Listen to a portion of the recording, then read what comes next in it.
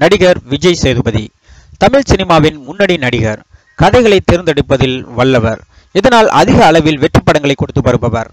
மக்கள் செல்வன் என்ற அடைமொழிக்கு சொந்தக்காரர்.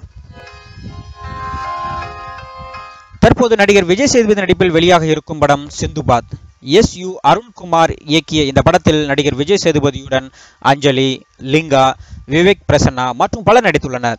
சென்ற வாரம் இருபத்தி ஓராம் தேதி வெளியாக இருந்த இந்த படம் தயாரிப்பு நிறுவனமான கே புரொடக்ஷன்ஸ் நிறுவனம் பாகுபலி நிறுவனத்திற்கு தர வேண்டிய நிலுவைத் தொகையால் கோர்ட்டில் வழக்கு தொடரப்பட்டு திரையிட முடியாமல் தாமதமாகி வந்து வருகிறது.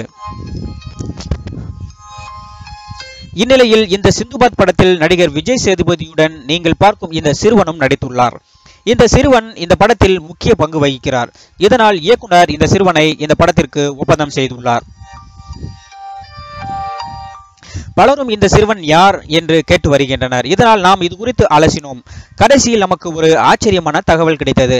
அந்த சிறுவனின் பெயர் சூர்யா என்றும் அந்த சிறுவன் நடிகர் விஜய் சேதுபதியின் சொந்த மகன் என்பதும் தெரிய வந்தது